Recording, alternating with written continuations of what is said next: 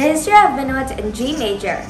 The minuets in G major are a pair of movements from a suite for short. Is a musical instrument played by the means of a keyboard. By Christian Petzold, which through their appearance in the 1725 notebook for Anna Magdalena Bach used to be attributed to Johann Sebastian Bach. These minuets are among the best known pieces of music literature. The 1965 pop song, A Lover's Concerto, of which millions of copies were sold, is based on these first of these minuets. In the late 17th century, Christian Petzold became the organist at the Sophia Church of Dresden.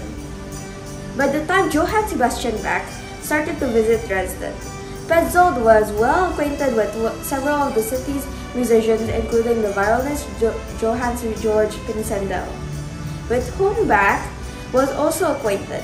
In 1720, Petzold composed the music for the inauguration of the new Silbermann organ of the Sophienkirche. Bach gave a concert on that organ when he visited Dresden in September 1725. Petzold died in 1733 as an organist of the Sophienkirche, he was succeeded by Bach's son Wilhelm Friedemann. The second notebook for Anna Magdalena Bach was started in 1725.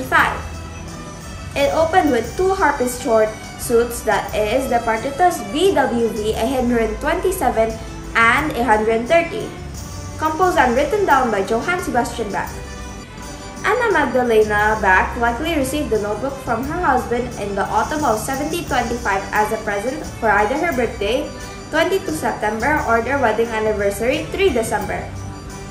Notes 3 to 11 in the notebook are keyboard pieces written down by Anna Magdalena, likely shortly after she was given the volume.